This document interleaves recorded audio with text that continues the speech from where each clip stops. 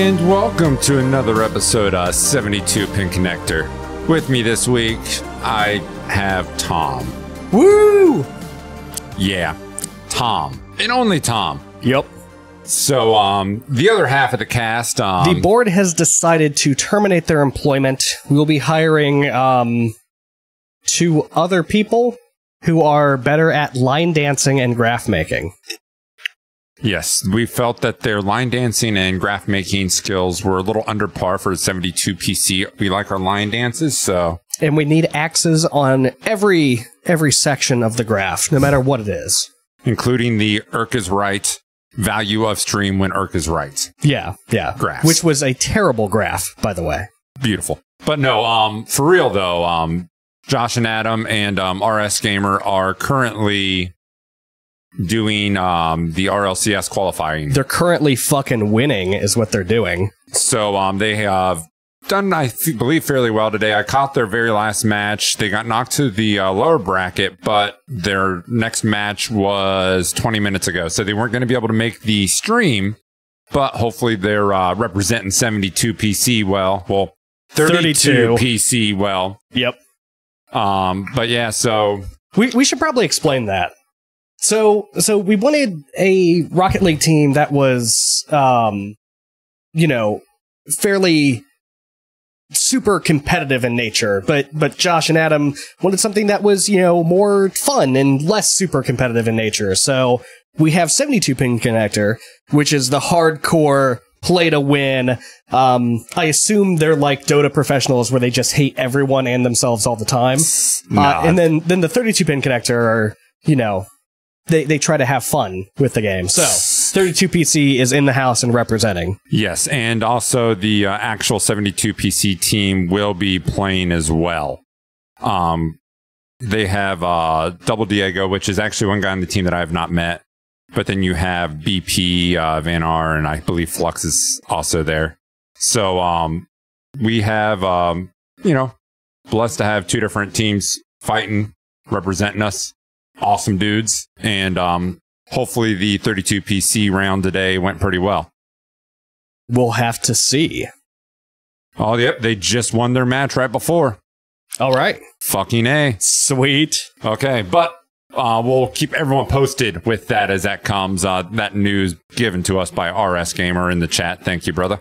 Thank you RS for for keeping us up to date about our own crew, which we have no idea what they're doing. It's okay. RS is there.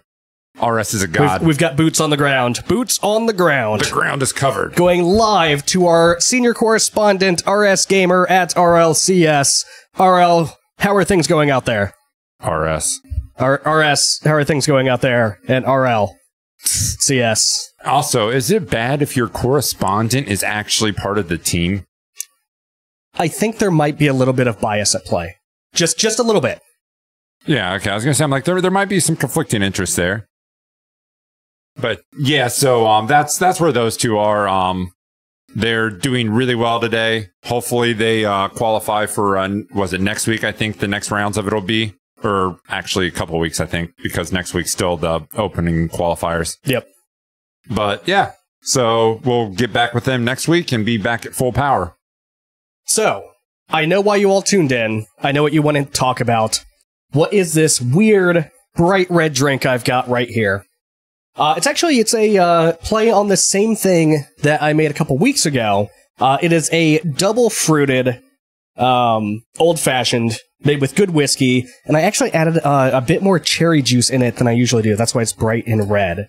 Um, but you decided not to have a whiskey drink that tastes like only whiskey and a slight amount of anything else.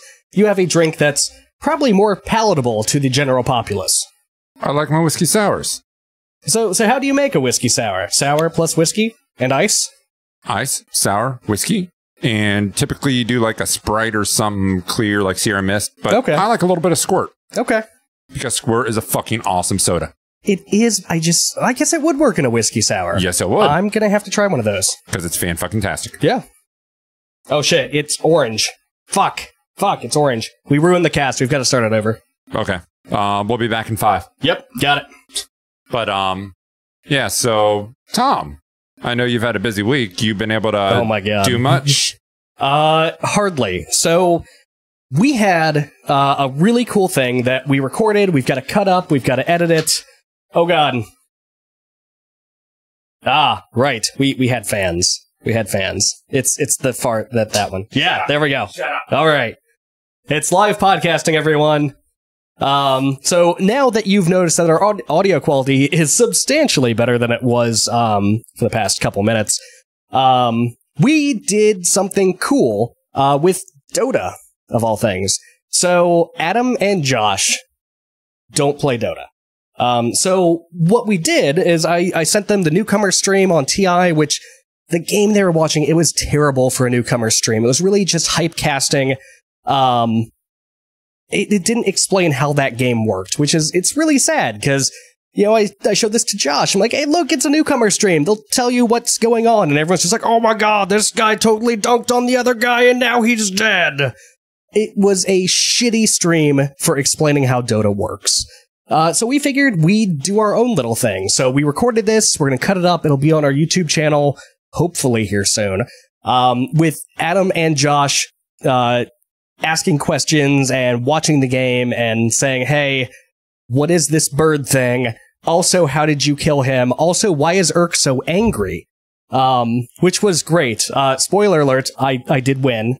So. Yeah, because I misused a fucking fountain. Y- he did. He, he did.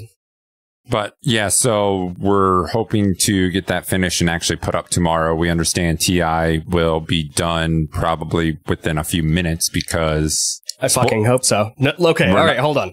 We've we've got to shout this out real quick. Uh, if you are going to watch the international VODs out there, if you haven't seen it, if you want to avoid spoilers on TI, um, you should probably ignore us for the next five ish minutes. minutes. Uh, so I'm going to give you a little bit of time to mute because I know some of you might be watching on a TV or something. You know, just waiting around here, avoiding some spoilers. And at this ch- point, chilling out. fuck you. Um, so Team Liquid is dominating right now. Oh my god, they're fucking wrecking everything in their path. So I watched these guys earlier in the week when they got knocked down to the losers bracket, very early in the week, and they looked bad. I think it was Team Secret that put them down. I mean, they just got stomped. So I, in my head, wrote them off right away. I'm like, there's no way. Yeah. And today on the grand finals, the very first match, they just just destroyed, destroyed Newbee. And then in the second match, Newbee comes out strong, is leading and kills the entire game. And then Liquid just like, ah, fuck you. We're going to push hard with our alchemist and destroy you. I honestly thought that second game, I mean, they were, they were literally up like eight or nine kills. Early. Yeah, like within the first 10 minutes. I'm like, what the shit is going on? Why isn't Liquid GGing? And Liquid just decided to say, fuck you, fountain time, and just wrecked. It was amazing. Uh, some, some of the best Dota I have seen in a very long time. That said, thanks to work stuff, I haven't gotten to watch as much Dota as I really wanted to, but the finals today are fantastic. I will say everything I've, I haven't watched as much TI this year as I have normally, but for everyone who does appreciate some good Dota, this is fun Dota to watch. This isn't the very long play. Granted, there was a 103 minute match like we had earlier, but these matches have been aggressive, very aggressive, kills early and often. So, I mean, if nothing else, the grand finals have been a blast to watch. They've been really fast. Um, one thing that Josh and Adam commented on was, wow, there's a whole lot of downtime in this game. Why are you just sitting there and killing the little guys? Why, why don't you try to kill someone? What what are you doing? What, you're just sitting there. But but the finals in this TI have been fucking like on fast forward. There is hardly any downtime. There's hardly any idle farming. It's just going nuts all the time. If you're level three, you're hunting for a kill. Yeah, it's been nuts. So go ahead and tune into that. Um, it's fantastic. I'm totally going to catch up on on the VODs because I have to see that game one. I have to. Yeah, that's that's that game one was quite impressive. But yeah, so anyone who's interested in trying to pick up a little bit of Dota, it's a little long. Um, we kind of quibble a little bit in it. We might try to edit down some of it, maybe not. We don't know yet, but it's going to be up there. We do a very novice explanation on what Dota is. So don't expect some deep strategy if you already know what shit is. Yeah, if if you're coming into this as a Dota expert or, or a person familiar with Dota, we probably get a lot of things wrong. Uh, so don't expect, you know, any any purge level analysis coming from us. Basically, it's uh, will I knock down his tower because it was there? Why did you do that? I don't know. I guess I wanted to win. And explaining why you can't just walk up to the ancient and start hitting. Yep. Stuff like that. Like the most base of base level Dota play. So yes, uh, that will be up hopefully in the next 24 hours. Hoping. As well as I Hoping. do want to take this time to call out that next week we will be starting, well, starting two new series, but we will have three series running through the week every week. So what we're starting to try to do is get some series on stream for everyone to enjoy and watch of a little bit different flavors. So starting this Tuesday, every Tuesday until its objective is met, I will be streaming Kerbal with the title of Irk Side of the Moon because the entire objective of this stream is I'm starting a brand new campaign from scratch with you guys. User input helps me decide how to make the rockets, how to do what research, all of that. And the end game is to land successfully on the moon. Not even get back. I don't care if a Kerbal fucking dies on the you, moon. you have to come back. And and if something happens mid-flight and fucks you up, and you have to try to correct it, you have to change the title to Apollo Urktine. That's what's happening. Okay. This All will right. happen. But um so yes, I'll be doing a Kerbal stream um user input, help me out, make some rockets, but that is what we'll be doing on Tuesday nights. It'll probably be roughly I think it's going to be 10 o'clock Eastern time, 7 o'clock Western or Pacific time. Um, I think that's what it is. We will update our Twitch tomorrow with the time for sure on that one. Wednesdays. I'm looking forward to this one. This one will flux on time since we do have differences and everyone's going to be in on this one. Um, it could be earlier, six o'clock Eastern time. It could be six o'clock P or Pacific time. But on Wednesdays, we are doing what we call bargain bin, where for at least one hour, one of us will stream a game in our Steam library that we have never played. So you will be getting to see a lot of shit that we have picked up on Steam sales and Humble Bundles that we have no clue what it is. Yep, I'm gonna probably head over to Steam Calculator, take a look at the timings on my games, and say, okay, stream, here's the list of shit that you could possibly pick from. And if there are people tuned in at that time, they can pick. If not, fuck you, I'm picking Dota. No, Damn it. something you haven't played, not something you play for 500 hours. I haven't played today. No. Damn it. Because I think all of us who are on Steam realize how often you pick up games just because they're cheap, especially on Steam sales. 99 cents? Why not? 60 cents for Pixel Junkie? Fuck yes. I've never touched it. I haven't touched half the games in my library. a lot of the games in my library are shit. Some of them, Half-Life 3, $4? Done. some of them, like I have Overlord. I know it's a good game. So at some point I might do it, but I think it's going to be more interesting for us to dig into the really fucked up indie titles. We're gonna try to get an hour to two hours per stream, at least. Maybe, maybe it'll become a regular thing if the game ends up being really good or really addictive. Yeah. But we want to at least benchmark one hour minimum. Yep. That way everyone on stream can get an idea of, oh, that's what this game is. Just watch. The first game we're gonna pick for this is gonna be some clicker thing where we just watch fucking progress bars. Yeah. At that point, I think we're going to lose followers. Yeah. But that is going to be our Wednesday stream going forward. And that will be a collaboration between all four of us. So also, if you come to our libraries and see a game you want to see someone stream that we haven't played, just tell us on Twitter. And then on Thursdays, Thursday, Thursday, Thursday. I don't know if they have a time lockdown. Um, No. For anything that doesn't have a time lockdown, we're going to try to give you a hard time at the beginning of the week. But on Thursday is Tom and Josh running co-op Dark Souls 3. Every Thursday, you'll be able to catch that. Um, we are West Coast time. So it'll probably, I'm assuming, be around six to seven Pacific time. Yep. So 9, 10 Eastern, just roughly that time for anyone wanting to watch that. We try to get um, two hours per run. Sometimes, depending on video feed quality issues, as you saw last stream, hopefully not, but some people did. Um, you know, it could be later, it could be earlier. We're going to try to do a better job of uh, tightening up our stream and making it so we aren't streaming at six frames per hour.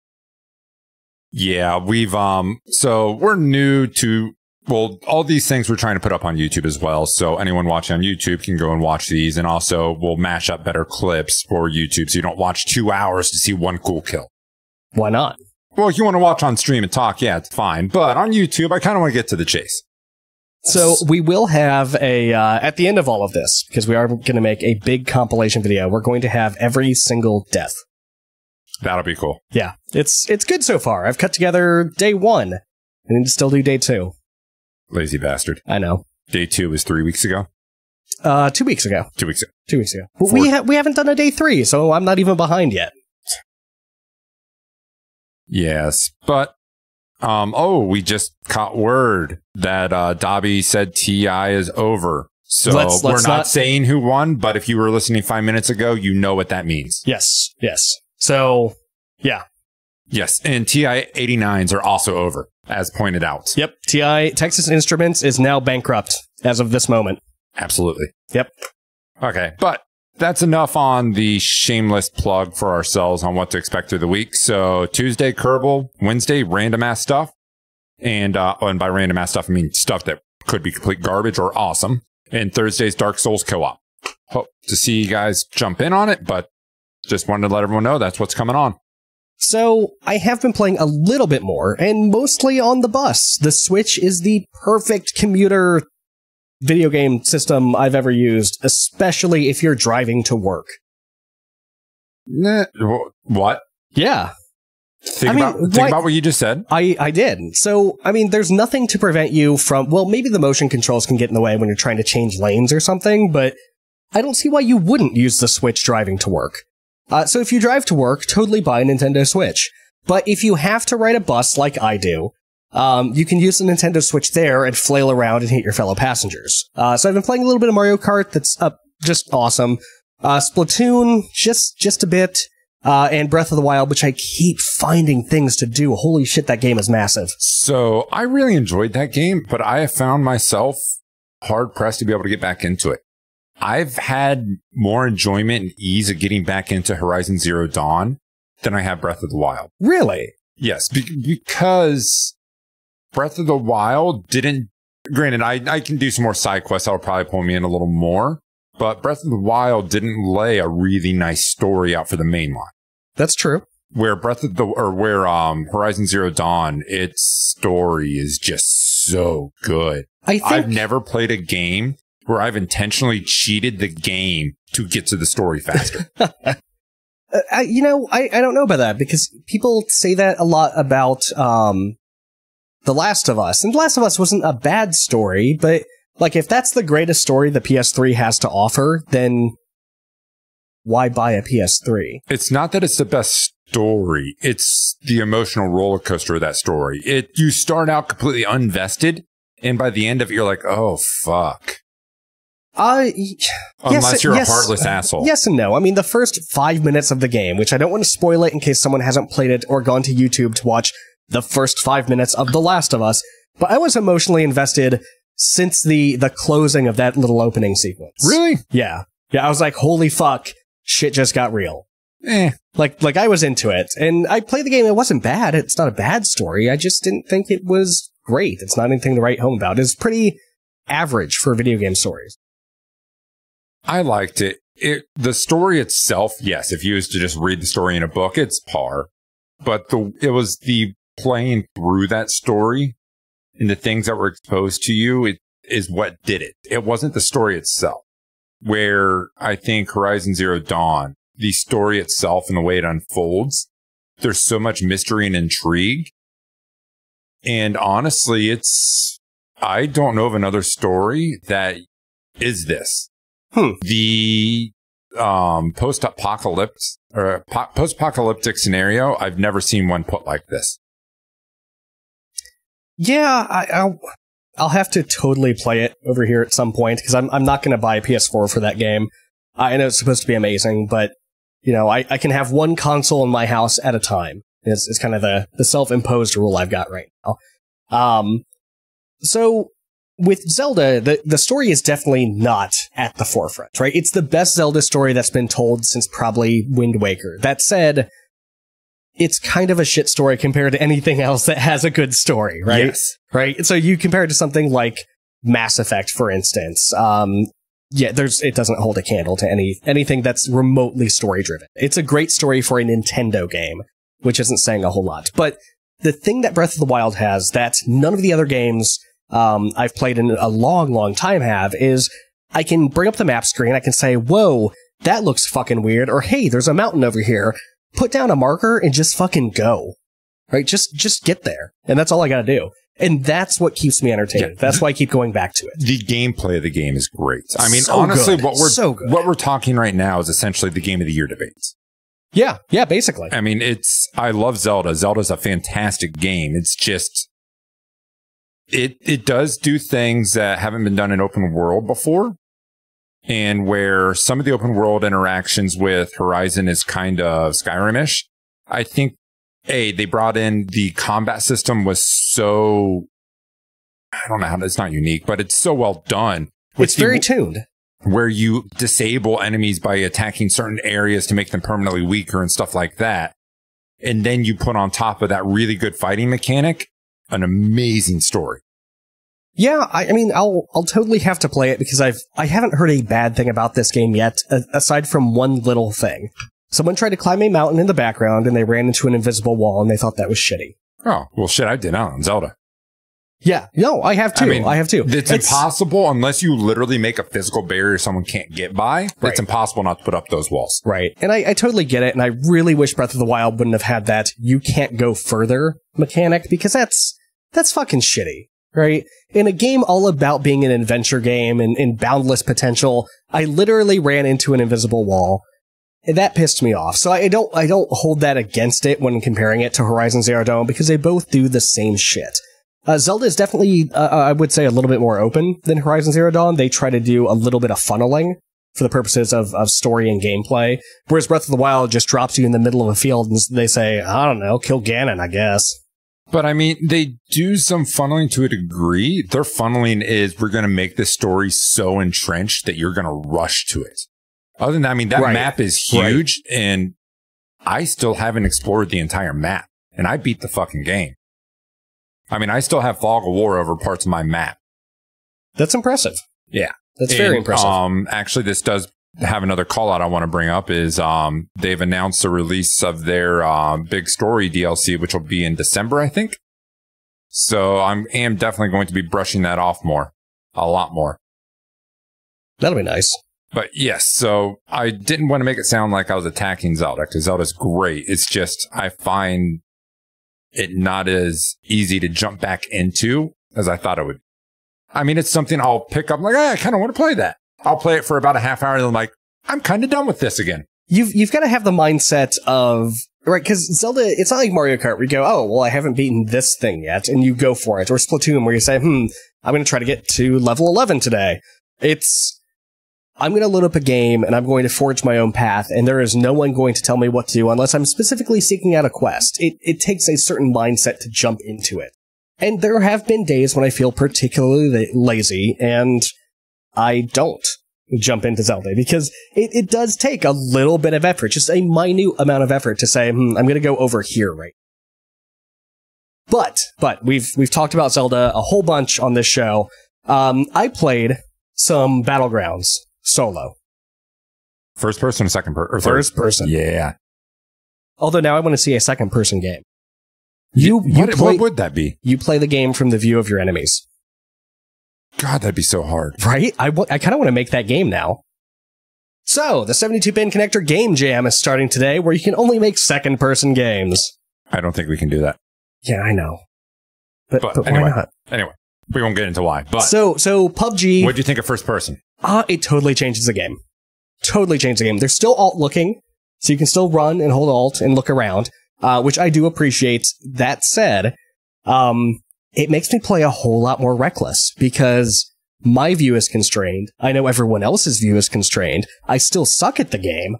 Um, but it's a lot of fun because I can run into places and it makes a lot more sense to sneak around in third person because maybe you'll catch a glimpse of something with the camera rotating it around. With first person, but if you see them, they see you. And that's almost a guarantee. The one thing I loved about the alt look with first person, you actually move your head. You don't get the look for free. You may not have known it because you were playing by yourself, but Adam and I were running some first person together. You can tell where the person's looking. Okay. So nice. you literally get no look for free, which I like. You have to have some form of body movement to be able to look. Yeah. So I really like it. I think it totally changes the way the game plays. I really hope they bring first person to squad because that's going to be a lot of fun. I think they just actually recently did. Oh, did they? Oh, that's great. Um, but yeah, I'm I'm gonna put in a little bit more time. I still suck at the game, and I don't think the gunplay is as finely tuned as I want it to be. When when I play a shooter, I want it. I, I know it's trying to be semi realistic, but I want it to feel like Unreal or Counter Strike, where it just it feels completely tightened. This the gunplay feels a little bit loose. Actually, I think this gunplay's really, really solid. It's not fantastic, but it's solid. I think the biggest issue people have is you don't get a chance to get used to the gunplay. That's true. That's true. That's why the strategy of there for a while I was doing it and I still want to get back to it is we talked about it before. Crazy runs. You just go aggressive. And for the sheer fact, if you get better at using the guns. The the thing I'm finding is the gunplay feels lethargic and heavy. The guns don't have a real quick snap to them. Like in Counter Strike, I can aim, I can fire, and it all feels very quick and it feels like that gun is connected to my mouse. And this, it feels like there's almost, almost a lag to it. I don't know exactly how to explain it. Um, I kind of like that. I, I like the not hyper snappy, more realistic gun movement. yeah, it, this is definitely more realistic. I'll give it that. I just don't think it makes for very good gameplay. I, I think, I think it would be better if It doesn't make for good gameplay, you say about the game who has what the second highest peak number in Right. Steam. I, I think so. So let me let me put it a better way. Um, it could make for good gameplay. I don't think it makes for good gunplay. Right? If this were a uh, Counter Strike style um, constrained map, you know, ten people to to a mount to to a round, um, no one would play this game. Yes, but at the same time, you put Counter Strike where you're shooting three kilometers at a guy. Oh yeah, no one would. Well, actually, no one that, no one's would doing that play this that either. either, right? Um, because the AWP is the only weapon that would work at that range, right? So yeah, they they're two totally different games with totally different objectives. I just really wish the gunplay felt better because in first in third person, it does it didn't really matter so much because it felt good enough as a third person game. But from first person, I'm expecting a like a tighter control set, a tighter grip on the gun, and that just hasn't happened. For a game that has both, they're not changing anything but the Yeah. viewport. Yeah, I know, I know, and that's. I don't want to give them like a pass and say, "Yeah, no, I totally get it. I I get it," but I wish it would change. And honestly, I don't think CS's gunplay is that great. well, I mean, it's okay to be wrong. You're allowed to be wrong. No, I mean, like, honestly, I think Modern Warfare was better gunplay than CSGO. They're two totally different games. Modern Warfare was Unreal no, no, no, Tournament no, no, no, no, no, no. theme. You can't say they're two different games while just comparing Counter Strike to Battlegrounds. No, no, no. Okay, two different styles of shooters, right? Battlegrounds is going to fall into the more realistic segment of shooters like Counter Strike. Call of Duty falls into the Unreal Tournament segment. Counter Strike is nowhere near a realistic shooter. More realistic, right? You've got your CS players and you've got your Unreal Quake players. You've you've got two totally different things. There's arcade shooters and then there's anything except an arcade shooter. And then somewhere over there you've got like the Clancy shooters, which nobody plays because they suck. You see, I, I, I got some support from the chat where they're agreeing that CS gunplay is not that. And There's- I'm going to take that one person in the chat, Okay, all right. and say that is the entire chat agreeing with me. I'm I'm gonna need I'm gonna need some graphs. I'm I'm always gonna need some graphs. Soul, make us a graph. Anyway, um, so Anyway, so uh, I played a little PUBG. It was good. I like the first person. Um, I shot a guy. I shot a guy. It was great. It was so much fun. Um, and then he had a shotgun, and that didn't end so well. Uh, and then then I landed, and there was another person. First person kung fu fucking sucks. By the way, I tried to punch some dude out in first person and he kept circling me and I did not have a good day. So that's that's kind of when I stopped. Yeah, I Yeah. whenever I was playing it, I didn't want to stop. I've realized that in first person, I don't know if it's just me, but it felt like they amplified the sounds so that the sounds were more Yeah. intense. Like I remember hearing an explosion near me and I'm just like, holy shit. The guns sound meaner, the explosions sound louder. And I think it's a good thing. I think it really amps up. I mean, Battlegrounds is all about anxiety driven game. Oh, the first person does that. and when you put it in first person, it does that really it well. up. It does that really well. I've yet to get the experience where you turn the corner and someone knew you were coming with a shotgun. But I know the first time I do that, I'm going to have to try to not piss my pants. Yeah. Yeah, it's it's good. I, I want to see um more more first person. If they if they did link it to squads already, that's great. We're gonna have to try that out. Um, this deserves to be one of the you know the game with one of the highest player counts on Steam. Um, I really enjoy it, and for being an early access game, and for the developers, you know, putting in the time. You know, they're constantly releasing updates. They're constantly fixing shit. Uh, they're constantly managing the community. Uh, I really appreciate what they're doing. I, I don't I don't want to say like complain about the game and say it's a bad game because it's not. It's a great game. I just I wish it were better, like any other game. Right? It's so good. It just it just needs this little bit of polish. Little bit. But this game might lose some of its charm if it's too polished. Some Yeah. of the quirks are part, they need vaulting. 100%. I was in a match the other day where we got stuck upstairs because people were underneath us. Right? And if we could have just vaulted out windows, It we, it'd we could have won. Yeah. Because, I mean, we were down to the final 10.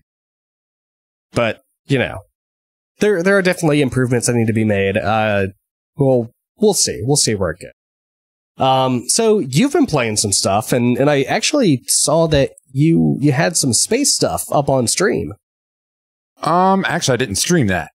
Oh, you didn't stream it. Oh no, I saw was I saw the pre-roll. I yeah, saw the you pre saw the roll. pre-roll. But um, first, I do want to talk about um, something that concluded. Um, actually, I think right before the cast started, or during, or right after. Uh, the first ever Splatfest for Splatoon 2 has came to conclusion. The epic battle of Mayo versus Ketchup. So the way the Splatfest works, this is my first time being a part of one. I mean, they've had them since Splatoon 2 or Splatoon 1, but there's three segments that count popular vote. So what team was on what? The win percentage of uh, solo play, where you just get randomly matched up with teammates, and the win percentage of team play. Ketchup won popular vote something like 72 to 28. They dominated. No one was choosing Ketchup. However, they lost both the matchups. Oh, Because here was the thing that sucks. You get no momentum as Ketchup because since there was that much of a player base playing as them, you play one match against Mayo, then you play five matches against Ketchup. Because So- what they do is they try to match you against each other. But if you can't find a match, they just match you up against your own team and then you just have a regular match. so what you're saying is Splatoon has an electoral college that fucked the vote for everyone and plunged Splatoon into a just hellish nightmare of political intrigue for the next two weeks. No, I'm just saying Ketchup lost. Oh, okay. But um, something else that was weird is when it was actually Ketchup versus Mayo, you were the color of your condiment. Oh, nice. So nice. it was really off white everywhere and really blood, like really, really red. It looked like semen and blood all Oh, over the map. Jesus. Is actually what it looked like. Good shit. It Fucking Nintendo. It's a kid company, Yeah, and it just- was semen and blood all over the map. God, Nintendo. But but you know, they can put semen all over a map, but they can't let people talk to each other because save the children. Save the children, of course. But sorry. So, So, we, no, we've no. got we've totally got a graph built uh, built in chat right now. Let me let me explain this. Uh, the left, the vertical axis, is uh, level of Eric's autism, and the bottom axis is length of Counter Strike discussion, uh, and it's a linear line going from zero uh, all the way to the top right of the graph. Um, this is a graph I can kind of get behind. I totally agree with this. You all fucking suck. but um, so the Splatfest went off. Um, there's a lot of uproar online right now, though, because of the fact that since it was such an uneven team split That up. that someone won the popular vote without actually winning the contest. Well, not that. It's that because you were that overwhelmingly unpopular, not all your matches counted. Yeah, that's true. Where Mayo, it was every match counted. Yep. So, but either way, um, I played a shit ton of that. I'm, I really like Splatoon. Uh, I got a few friends I play with. Um, I've only played a little bit with DLS, but DLS had a really high MMR during the Splatfest. Nice. Um, buddy James back in Ohio and uh, Vosbeck play with them a good bit. But yeah, it's it's a fun game. They need to work on the ability to play with friends a little more. But other than that, though, that said, I was I've been jumping in with James almost every night, and it's just some matches you play together and you wreck, other matches you play against each other, and then you literally are talking on Hangouts, trash talking each other because there's no way to do it in game. But yeah, it's Good old Nintendo. been playing a good bit of it. It's it's a really good game. Um, it's not a console seller, but at this point, I feel Zelda, Splatoon, and Mario Kart is enough to get it. And then there's enough small purchases on the eShop to make you be okay with having uh, uh Splatoon, really a Switch. Quit We, uh, graphing, Tom. Shut the fuck up. We, we also have another graph, uh, thanks to Dark Soul Invader in the chat. Uh, 33.3% of people are wrong, and 66.7% of people are right. Um, but, Dark Soul Invader, you made a pie graph, which is by far the worst of the graphs, so you're No. instantly disqualified. you be quiet. Pie graphs are fantastic. pie graphs fucking You look suck. at one circle and you automatically know the No. ratios of everything. No, you it don't is have to look at different bars. It is misleading. It is shitty. There is no worse graph than the pie graph. what? Yeah. No. Other than maybe a stacked bar graph, because those suck too. No, bar graphs suck. No. A pie graph is one thing that represents everything. Next time on 72 Graph Connector. Flowcharts. Fuck flowcharts. God, I hate flowcharts. But um anyway, so yes, I have been playing some Splatoon. Also did get a little bit of Rocket League. Um not a whole lot new. As we said, um RLCS, the 32 pin connector team was playing today. They were just eliminated actually as the stream was going on, but if I understood RS correctly, they will be able to go again in 2 weeks, I think. Is So- that the case? Okay. they still stand a chance as well as the 72 PC team is still at large. So Somebody kill them. we will get a team in, damn it. Matter of So, time. Also, um, just feel free to jump on stream because I think they've been streaming matches. Uh, jump in, support, be friendly. They love it. And then I was doing a little bit of Splatoon or uh, Kerbal. So I was doing Kerbal so I can get a little pre-run video whenever I'm streaming, but also a little reminder of what exactly Kerbal is. Because after not playing Kerbal for two years, I kind of forgot some of the controls. And that game is not the friendliest. No, it's not. It plays like an old school flight sim. Um, yes. And have you ever played any of the uh, career mode? No, no, I haven't. So I know you've done the sandbox mode. yeah, well, it that's the issue with the early access games that I loved. I loved Kerbal, and I played the shit out of the sandbox mode, and I felt like, all right, I've played the game. And then when they added all this other shit, I never got to see it because I was done playing the game. You said you played the game, but that was because you didn't have the aspiration to say, I want to make it out to their equivalent of Pluto. Yeah, no, I, I totally didn't get hardcore into it. I will fully admit that. Because see, to me, that was the thing. It's like, okay, I got to the moon. Now I'm going for Mars. I was able to get a ship in orbit around their Mars once in Sandbox. That was it. But career mode, you start with so few stuff or so little stuff. You have to just run experiments inside of the atmosphere to be Oh, able to shit. unlock stuff to get into low orbit to run to get to outer orbit to eventually get out to moon orbit. Okay, so when you do the stream, are you starting from the base level of Yes, nothing? I'm starting right. from nothing at all. Okay. You will watch me struggle for a few weeks and then I'll get into Earth's orbit.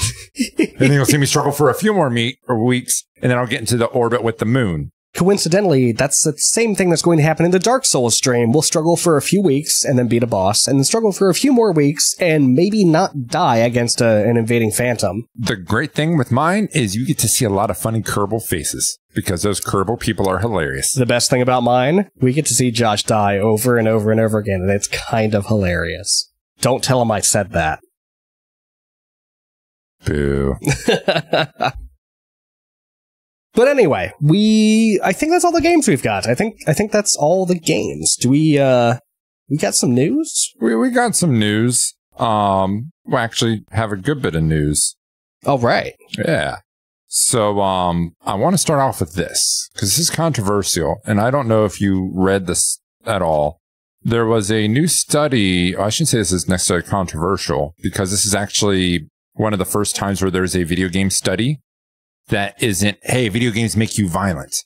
Yeah, it's it's nice to see them studying something else other than uh, if your child plays Dota 2, they will be a sociopath. Yeah. Which, by the way, they will be. Well, that's just because the That's that's just Dota 2, right? But so this study was um, based off of action games like COD and stuff, first person shooters and third person shooters, what they were considering. Um, they were saying that a prolonged exposure to these type of games playing religiously would cause uh, gray matter loss in the brain. And gray matter loss in brain is often linked to uh, dementia, Alzheimer's, and things like this. I've known plenty of gamers that have dementia. Really? I mean, just about everyone I play online with. Yeah. But no, you, it, it's not like, oh my God, you get dementia now. It's just yeah. that's something that is possible. It's it's an interesting study. Um, of course, with all good studies, this will need to be replicated um, time and time again to, you know, uh, correlate the results. Make sure it's not a one-off thing. The the study it looked like it was done okay. I'm not a scientist by trade. I don't actually know what I'm talking about. So take this with a you know a salt lick of salt. Um, but it doesn't look like this was rushed to market just to say, "Hey, video games turn your your children into killers." Um, so we'll we'll have to see because it might be the case. Now that said, um, this is specifically targeting action games, right? Yeah. Yeah. It's just action. First person, second person. So, yeah, So, yeah. Is is chat distracting? Chat is kind of yeah, going, yeah. Sorry. going We, we, we, have something right now in chat that caught me off guard. So I was trying to take care of it. Sorry about that. yeah, Um, but yes, so um, first person, third person shooters is what they're considering action games, not the traditional video game genre of action games. right. It's not Space Invaders that they're looking at here, no, this is like Call of Duty, Battlefield, Battlefront, that kind of stuff. right? So that I thought was really interesting.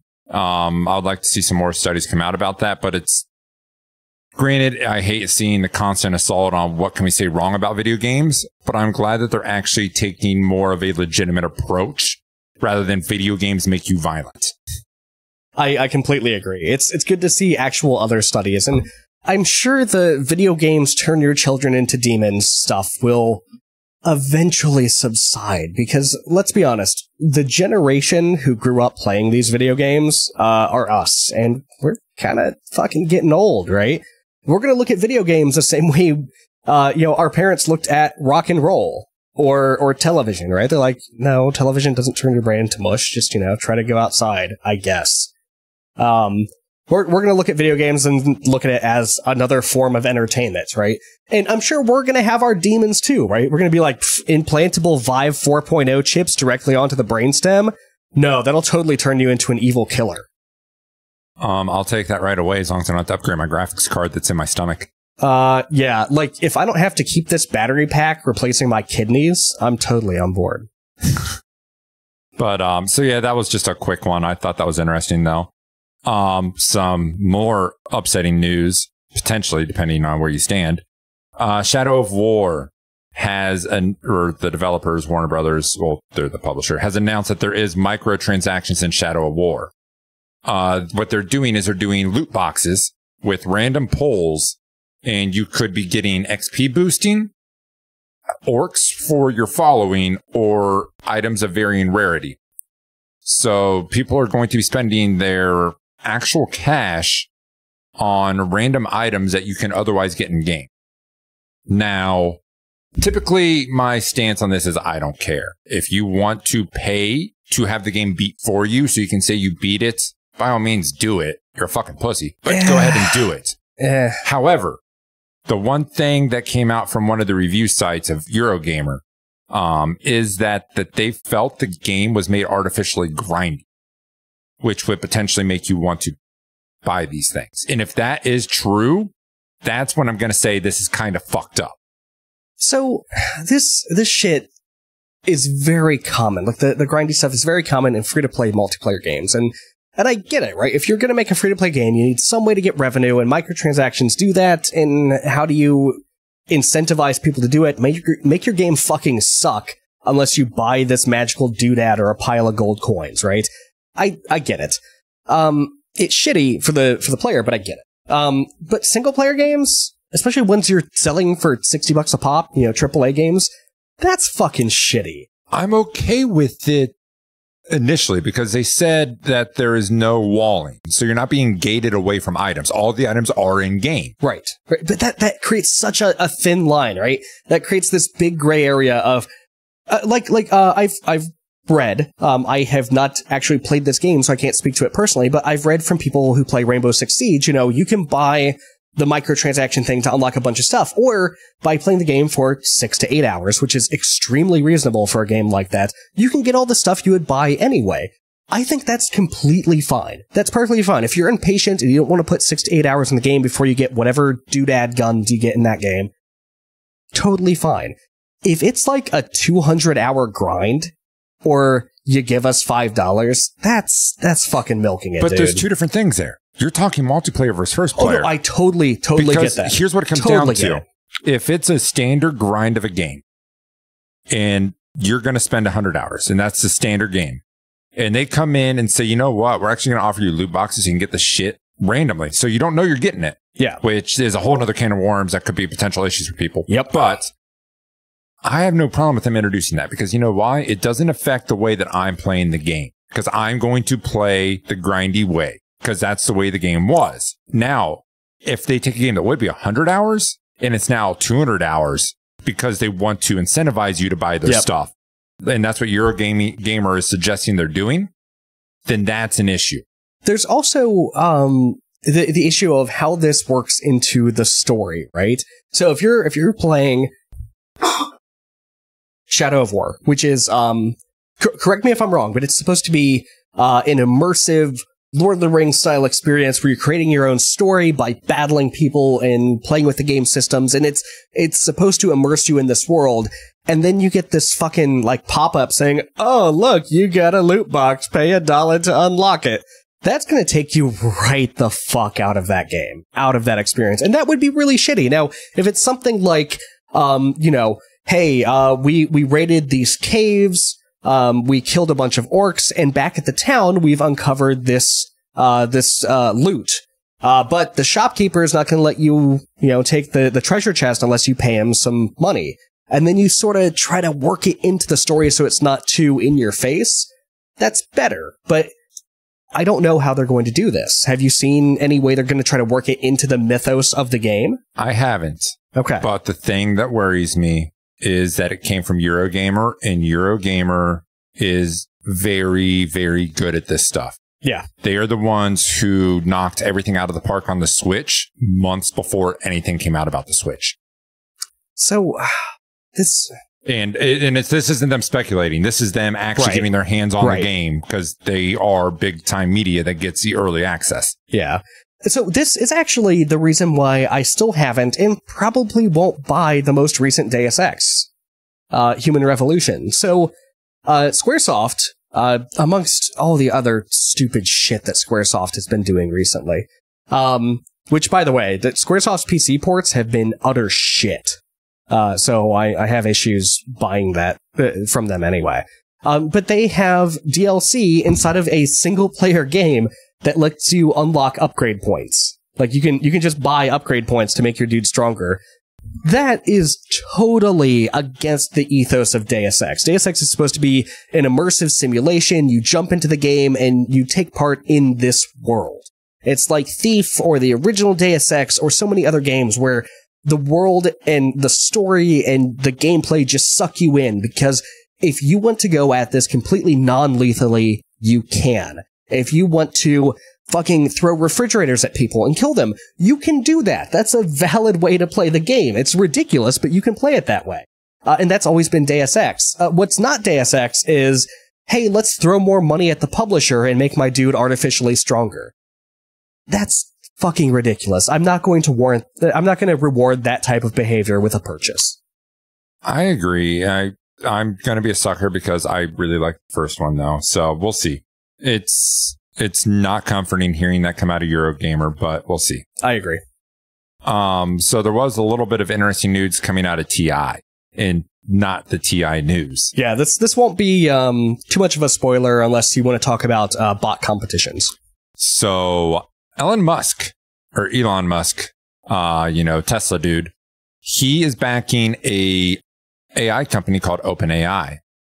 Well, he created an AI who played one of the most well-known Dota players, Dendi, one on one.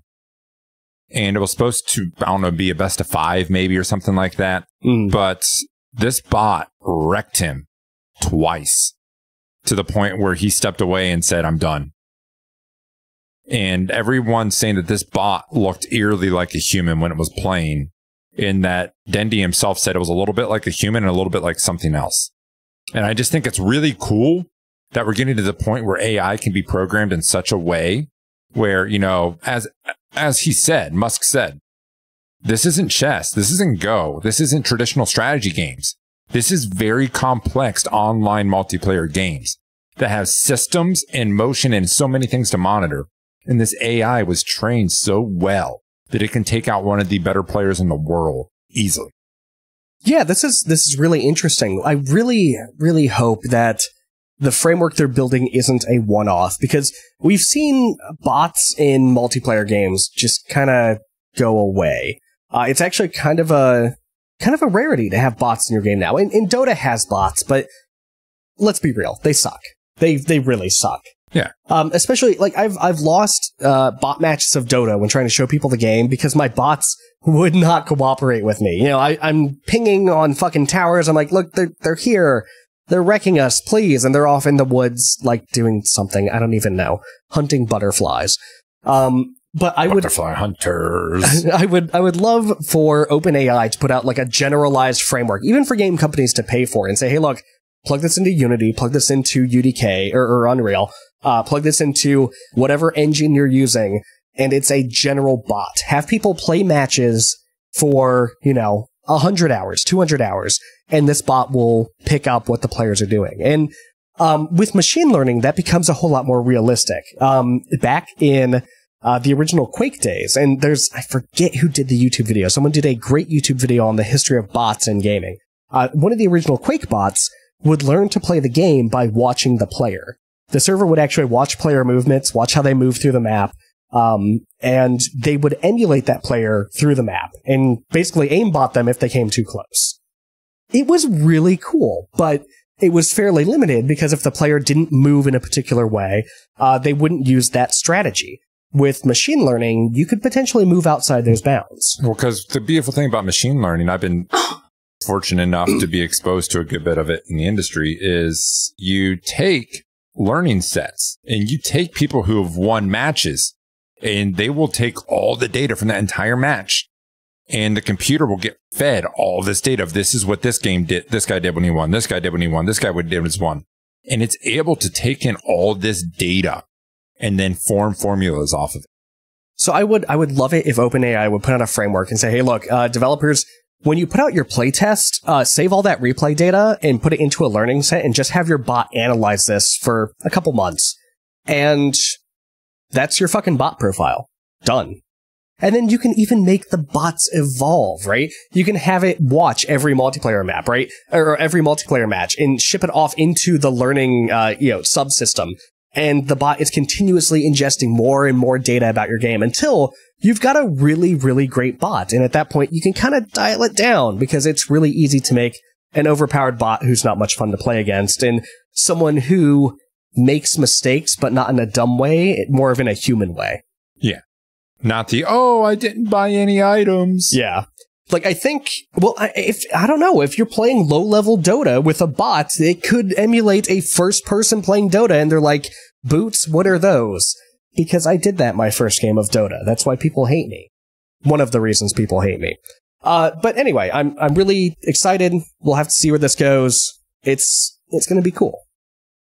And um, with that, there is a little bit more news that we'll touch on for Valve. Uh, Dota 2, uh, Dueling Fates update. They're going to be introducing two new heroes into the mix. Yes. Uh, one looks to, well, if they actually do backstories, one seems like a sarcastic player and the other one's, I don't know, like a fairy kind of person. yeah, it's a fairy demon thing. I don't know. It's Dota. I'm excited. New But heroes. Nothing much known, but two new heroes. I think it's going to take it up to 115 characters.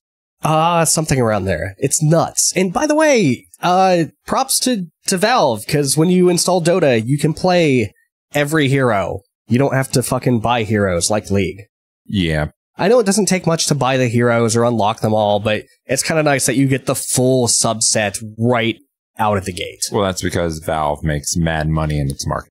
Uh, yeah, they do. By the way, this, like, what is it, $27 million prize pool for TI? Uh, Valve gets 75% of that. They, they did put a, forward a big chunk of money on their own, right? I think 5 million of that they started Keep out in with, mind, but that means a hundred million dollars, uh, roughly. I mean, granted, I, I don't know the exact number, but somewhere Right. around a hundred million dollars was spent on compendium based items and stuff. yes. That's Yeah. insane. Um, and also one more tad bit or tidbit on Valve, well, on Valve, the game company. Um, they will be releasing a new game. a new game from Valve? Does it, does it end in a 3? They don't know how to count that high. Oh, shit. Somebody get some preschool teachers over there. Stat. So, um, yeah, they do need preschool teachers. Uh, they'll never do any threes, maybe Left 4 Dead, and that'd be about it. yeah, that'll be it. They did announce a new trading card game based off of Dota characters. In other words, Hearthstone, your days are numbered. Watch your fucking back, Blizzard. Now, this is Valve, and they can do things wonky, and I can see them not allowing this game to be mobile, which would make Hearthstone still viable. Yeah, one of the biggest, most awesome things about Hearthstone, and that said, I've probably put five hours into the game. I am nowhere near like a, a regular Hearthstone player. Is being able to pull it up on my phone and then dick around with the game for five minutes, ten minutes at a time because it, the matches don't take that long. And I can just sit somewhere and play a match and be done. If I have to do this on the computer, eh. I'm, Uh, I'm probably going to download this, right? I'm probably not going to play it a whole lot though. Yeah. Uh, my buddy Vospek, um, is a tablet guy. He li- well, I shouldn't say it that way, but he plays, um, uh, that, uh, Hearthstone. So I always get on because I don't like tablets. And I'm like, well, what's the point? He's like, well, it's nice for this kind of stuff. And honestly, for that, I can understand. I can really understand. But yeah, uh, we'll see what happens with it. Um, it'll be interesting. Uh, sorry about that, people, but I think possibly a little bit of technical stuff going on. Um, That was that was some weird clicking happening. but anyway, so we had the Hearthstone coming out. Um, well, sorry. Uh, what is it called? Artifact. Yes, It's going to artifact. be the Valve new game. Um, and that was it for Valve. That was their big two announcements during TI. Um, other game news is No Man's Sky. Game launched last year. Shitstorm ensued. Yep. I enjoyed the game. Um, it's an exploration game. It nowhere near the promises. My- nowhere near the promises. My favorite thing to come out of No Man's Sky was um somebody gave his girlfriend the tempered expectations box to hold while watching E3 trailers live on Twitch, and she was holding like the collector's edition of No Man's Sky. It was fucking hilarious. Because it just shows, you know, so many promises, so many promises, but until it hits that fucking disc or that fucking download, it doesn't exist. well, I I was one of the lucky ones, I guess, that went into it saying it's impossible for them to do everything they're saying. So Right. I came in thinking this isn't going to be what they said. Yep. I found the game enjoyable. It was a nice, relaxing, soothing game. I think I still maintain that the biggest problem with No Man's Sky is the price point because I have played less impressive games and been far more happy with them at five bucks. I'm not saying it should have been five bucks, but if they sold No Man's Sky as a $15 game, people wouldn't have been pissed. But because it was billed as a $60 AAA blockbuster of this amazing game that will blow your socks off, it's just like the original release of Fable, which I'm still mad at Molyneux for putting out because it was it was the RPG where you can you can slash a tree and then 20 years game time later you'll see that the tree has like grown over that slash and and stuff it he made so many goddamn promises in that press release, and almost none of them came to the game. It was promised to essentially be an Elder Scrolls game. Now, Yeah. don't get me wrong. The original Fable was great. It was a great game. It just was nothing like it was sold. Back in the day, I had a GameFly subscription, which is if okay for the younger people in the audience netflix didn't do online movies. Instead you would have a netflix subscription and you would get two or three or five dvds out at a time. Dvds physical discs. And they would come in the mail and you'd watch them and you'd ship them back for free. That's how netflix got their start. But there was a game company well not a game company but a company kind of like netflix that dealt with video games. So I could rent DS games or Xbox games, and I rented Fable, and I had it for a week, and that was it. I sent that shit back. See, I enjoyed it and I played the second and I played the third. I enjoyed it a lot. I didn't beat the third, but I enjoyed them. They weren't what they were promised, but they were enjoyable games. But anyway, No Man's Sky, back to the point. Um, monster update, 30 more hours of actual story were the Atlas plot line, which was this plot line that just ended. And everyone's like, what the fuck? Um, like everyone speculated, well, maybe you have to do it this many times, this many times, this many times, and no one ever found anything. There is now 30 new or 30 more hours to actual story play or story gameplay. So there's supposed to be an actual story to it now, as well as an addition of a limited co-op. So, so Hello Games put that out, right? That's that's the developer. Okay, I maintain that Hello Games is fine. I don't put any of this blame. Okay, I put a small amount of blame on them for making big promises that they later couldn't keep, but I think the majority of the blame rests with the publisher on this one. Sony. the majority of the blame rests with Sony. They they I mean No Man's Sky had been delayed and delayed and delayed and they're like, "Well, just fucking ship it." And that's Miyamoto loves to say a delayed game is eventually good, which sometimes it is. Uh, but you know, when a, a bad game is bad forever. And I feel like No Man's Sky really fell afoul of that rule. If they could have delayed it for two more years, it would have pissed people off. I get it.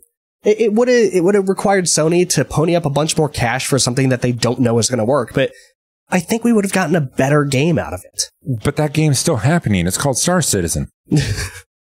Yeah, don't don't even get me started on the on, on Star Citizen. I am I'm still waiting for them to put out something. But there is another interesting tidbit of news that I didn't throw on here that I do want to bring up. So it's going to be interesting for you. Um, the there's a game being produced by the original one of the original devs for Final Fantasy Tactics. It was this new deep tactical RPG. He put a Kickstarter out, got eight hundred thousand dollars for it. It was supposed to be released two years ago, two or three years ago. Never did. We're still working on it, still working on it. And all of a sudden, the Kickstarter went dead silent. And then in the last few months, there was a post that, yeah, we kind of sold the game. what? So this game was just sold to a company who was well known for a Barbie title and an Adventure Time title. So brand new company just got sold. So $800,000 of Kickstarter. Poof. So it can happen sometimes like that. The one redeeming fact is the new company said, wow, people are wanting refunds. We cannot do refunds. We will honor the actual Kickstarters. Okay, so so let's let's just put this out there about Kickstarter. When you buy something on Kickstarter, you're not actually buying anything. You're not actually pre-ordering anything.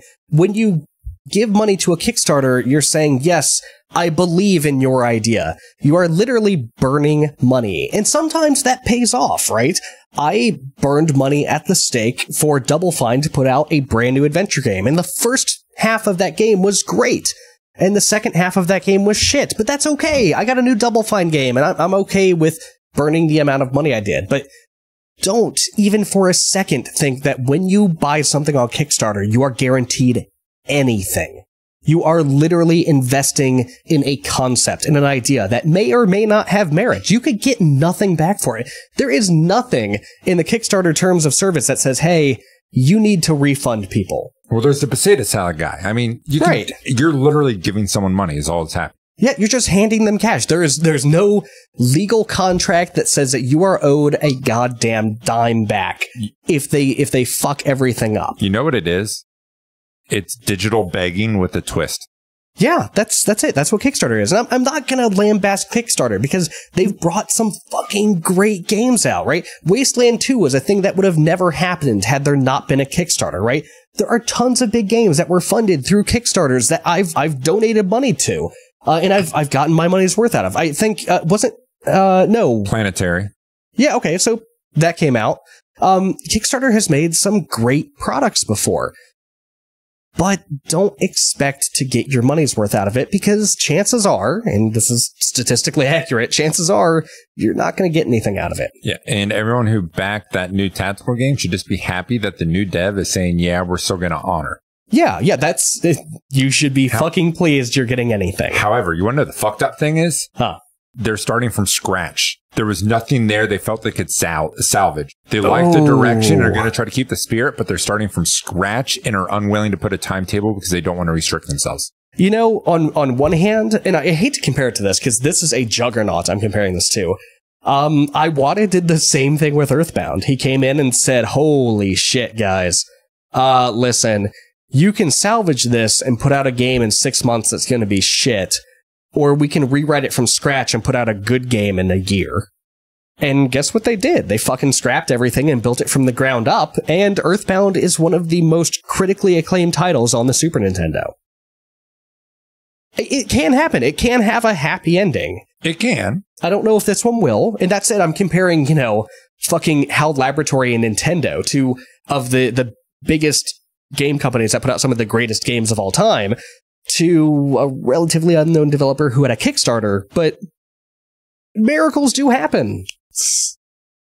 Well, let's talk about another new game rather than one that's probably never going to come out. And if it does, it's going to be underappreciated. Yep. Um, so Spelunky, great game. The dev kind of went silent for a while. No one knew what was happening. And then all of a sudden he started tweeting out some stuff with hashtag UFO 50. And then some other indie devs started tweeting out stuff with hashtag UFO 50. Oh shit. And all of a sudden we realize UFO 50 is a new game. So I did not pick up on a release date or not, but UFO 50 is going to be a collection of 50 different 8-bit games. These are not going to be full-size Super Mario 8-bit games, but they're going to be of decent, substantial size and 50 of them. Some of them with limited multiplayer and they're all different. Like there, I was looking through this. Some of these were like Bubble Bobble. Then you have some that are like uh, brawlers. Then you have uh, 1942 style shooters, and you have platformers. I mean, it's all over the place. Yeah, you've got some strategy games mixed in there. You've got some racing games. It's a big collection of random shit from the trailer. This looks awesome. They're putting some meta gameplay around all of it to collectively put all 50 of these games into one cohesive thing.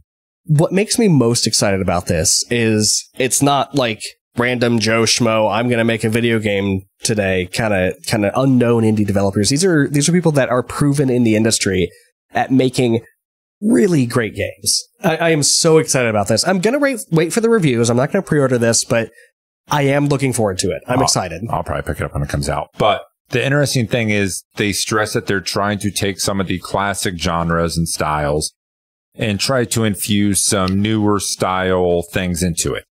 Because which worked great for something like Shovel Knight. yes, I haven't played it, but I've heard a lot of great things about it. And It's it's, great. just there's been a lot of advancements on what video games can do that don't require technological advancements on what 8-bit was. It just takes a new style to be put into it. Yeah. So with you know with something like Shovel Knight, get rid of the the lives, put in some Dark Souls. You lose shit when you die. You got to go grab it, and uh, you you infuse a bunch of other like cool genres in there, and you say, oh hey, three saves? No, why not ten? Why not why not make these things massive and big and not go fully eight bit when we can get away with it? And it worked out fantastic. So UFO fifty, looking forward to it. Yeah, it should be interesting.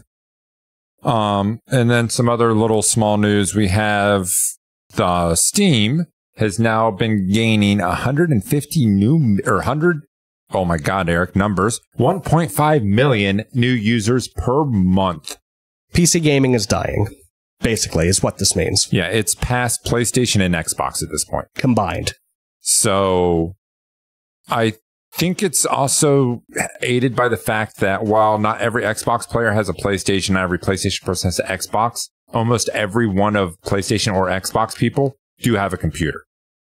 Right. I think that Right. does help because while consoles are strictly for one thing, computers are typically purchased for something. Yes, Tom, that's my door. Okay. Computers are typically purchased for something, and then you can put Steam on top of it. Right, right. The the you know, you're not going to do taxes or or web browsing on your PlayStation. I mean, you can do web browsing on your PlayStation. It just kind of sucks. Dude, just imagine someone doing their taxes on their PlayStation, like going With- through no, no, no. TurboTax through the web. No, I want I want fucking TurboTax for the Kinect. That's what I want. I Oh want to yell out my tax information and have the Kinect fucking fill that shit out. I want to dance like dance the shape of your state for your state tax. Just And you have to sing out, I had $40 of deductions. forty dollars of deductions. Yeah, that would be perfect. It'd be wonderful. I want to see that happen. I'm totally buying it. But I thought that was a really fun stat of holy shit, Steam is adding a ton of people. And that's why Valve, outside of Artifact, hasn't been making new games. Yeah, this will this will be good. Um, also on the Steam platform, this I think is an issue. So we hit on about a month or two ago that there is no more, um, or, or green light. Green light's gone. Dead. But in place, it said, hey, pay $100, get into the system. Well, such a low barrier to entry. In the last seven weeks, they have had a thousand games put onto the platform. I don't I don't see this as a terrible thing because it costs a hundred bucks to get on Steam. Um, and more importantly, to get on the front page of Steam and to to make that to like the the top sellers list, right? You've got to do your legwork as an indie dev.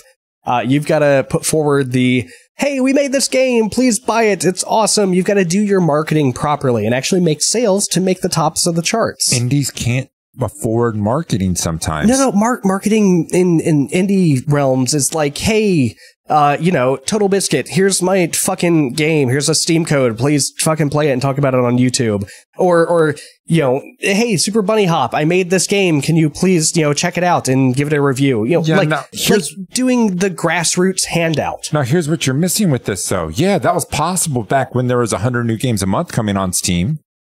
Now you have a thousand. You're going to have a hundred developers doing that a month. Yeah, I, I think it's fine. I think This is going to bury good games to where we don't see them until three years later.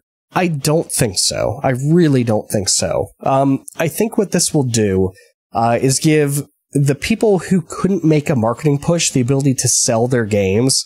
Um, and I mean, this is just begging for. There was a, a web project for. Uh, there's a website that you can go to if you have a Spotify subscription to find songs that have zero plays. So you can listen to something that literally no one else has ever listened to on Spotify before. I want that for Steam. Hey, no one has bought this game ever. Yeah, that will be something I can see them adding is games with fewest purchases. Yeah, I, I would love to take a look at that. I mean, granted, the vast majority of that is going to be utter shit, right? It's going to be someone saying, I guess this is a video game. I don't know. Uh, but we could get some cool stuff in there. I don't think this is bad. Um, I don't think it's going to have nearly the amount of, uh, bad, you know, repercussions or negative repercussions that we think it will. Uh, I think this is going to help some indie devs get their foot in the door. It's helping them get in the door, but getting in the door doesn't do anything for you if people can't find you. Yeah, I agree, and that's that's why you can't name your your hot indie game that's actually pretty good at something like Darkwood, because the podcaster who who you know listened to it and was really excited about this game is like, wow, that sounds really cool. Forgot about it in the span of one week, That name is Tom. or or you know, super rocket powered flying battle cars. Super aerial acrobatic rocket cars. Yeah, that one. I think that's right. I'm going to get like call outs in chat here in a second. But enough of that. We, we understand that's what it is. Some people will see it as good. Some will see it as bad. We'll see what it is. But there is one more um, tidbit of news I definitely want to get to. Nintendo is currently being sued. Surprise, surprise.